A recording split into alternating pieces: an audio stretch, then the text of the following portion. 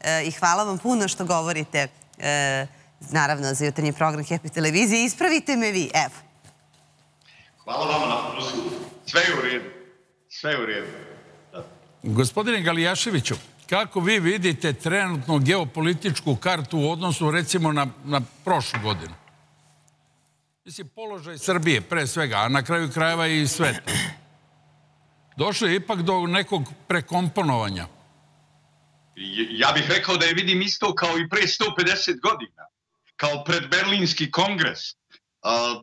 vidim je, možda bi vrijedilo u ovoj novoj situaciji ponoviti stavove predsjednika Dodika koji su jako važni kad se čuju iz jedne okupirane države. Bosna i Hercegovina je marionetska okupirana tvorevina u kojoj jedan nacistički namjesnik proglašava zakone, oduzima državnu imovinu pokušava e, proglasiti e, jedan narod nepodobni, pokušava Srbe diskriminisati i stvoriti novi medijski centar u Srebrenici za širenje antisrpske propagande.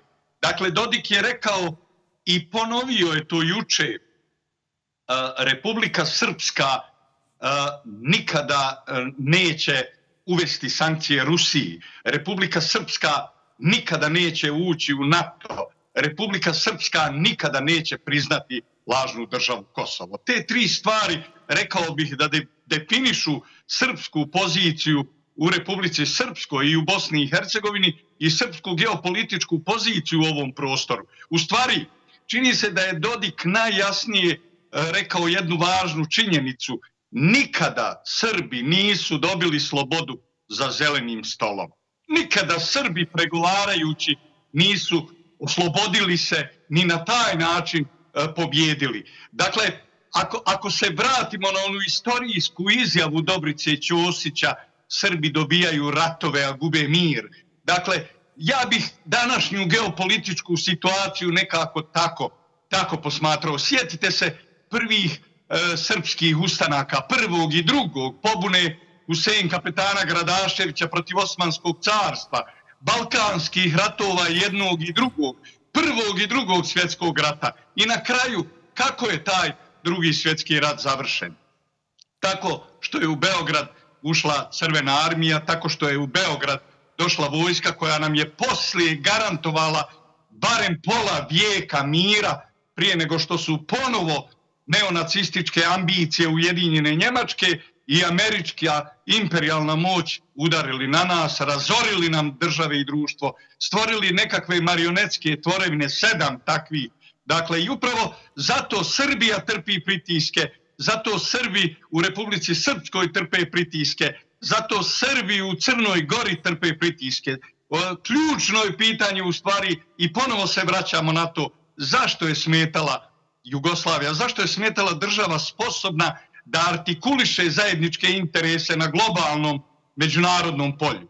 Ne zbog Slovenaca ili Hrvata, nego zato da se Srbi umire, da se njihov etnički i homogeni prostor e, fragmentira, da se jedna tradicionalna stara nacija sa istorijom koja je duga istorija i pobjeda i stradanja, dakle da se destruira, da se unište prvo nacionalna osjećanja kod te nacije, drugo da se homogeni teritoriji, etnički teritoriji koji naseljavaju, da se podijeli, da se isparceliše, da se državni elementi unište, da Srbi budu ono što su danas Amerikanci, a to nije nacija. Amerika ne postoji američka nacija. Pa zamislite da sva istorija američkog kontinenta u našoj svijesti manje je vrijedna, manje je stara od istorije stotina srpskih hramova i manastira na Kosovu. Zamislite da još uvijek kad govorimo o starosljedijocima Amerike, mi govorimo o evropskim, španskim, engleskim zabludama, da su našli kraći put do Indije, pa su starosjedioci tamo indijanci, dakle, ne apači, šošoni, irokezi, kajove, nego indijanci. Dakle, zamislite jednu neistorijsku kategoriju koja zbog strašnog političkog pritiska i onog unutrašnjeg obavještajnog, bezvjednostnog, vojnog, financijskog pritiska koji e, nacistički Goebbels, George Soros vrši na unutrašnjem planu, da oni još uvijek misle da su nacija. Nacija, dakle, oni žele to Srbima.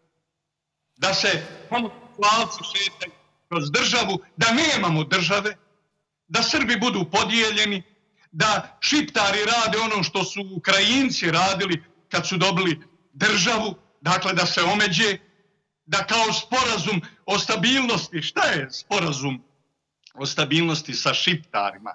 Šta je uspostavljanje saradnje? To nikada neće postojati kad bi im Beograd dali. Dakle, oni će državne granice, ako ih dobiju, koristiti da rade ono što su Ukrajinci radili, da ono malo Srba preostali na Kosovu spaljuju, ovaj put ne u Odesi, nego da ih spale Mitrovici. Da... Puno vam hvala, gospodine Galijašević. Uvek Hvala nam je lepo. drago kada ste naš gost, jer pažljivo vas slušamo, a svakako i naši gledalci. Vole da vas čuju i da, ču- da čuju vaše mišljenje. Želimo vam prijatan dan i hvala još jednom. I ja vam. Ovo što je gospodin Galijašević na neki način i započeo, a vezano je, a prosto se zaboravlja da je početak kraja Osmanskog